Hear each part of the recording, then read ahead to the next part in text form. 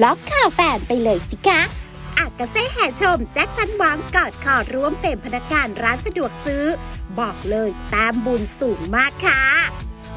เรียกว่าเป็นศิลปินที่ดังระดับโลกแต่ friendly และเป็นกันเองมาก ๆ แทบจะไม่ถือตัว แถมยังดูแล take care คนรอบข้าง รวมไปถึงแฟนคลับดีที่หนึ่งสำหรับแจ็คสันหวังที่เพิ่งจะระเบิดความมัน กับทัวร์คอนเสิร์ตในไทยถึง 3 รอบอย่างจุใจ